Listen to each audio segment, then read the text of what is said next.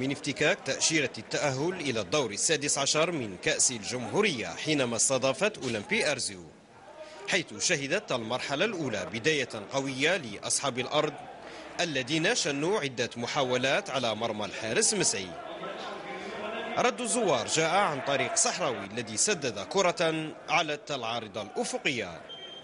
أخطر فرصة في هذا الشوط الأول كانت لأولمبي أرزو ولكن كرة صحراوي تخطئ المرمى. بعد هذا مولودية سعيدة نقلت الخطر إلى منطقة منافس وصنعت عدة فرص لم تترجم إلى أهداف لينتهي الشوط الأول بنتيجة التعادل السلبي. المرحلة الثانية دخلت عناصر مولودية سعيدة بكل قوة وعزيمة للوصول إلى شباك المنافس الذي كان منظما في خطوطه الثلاث. ولكن هذا زاد من إصرار السعيديين على تسجيل الهدف. فكان لهم ذلك في الدقيقة الستين عن طريق مطراني إثر توزيعة جميلة من ديداوي.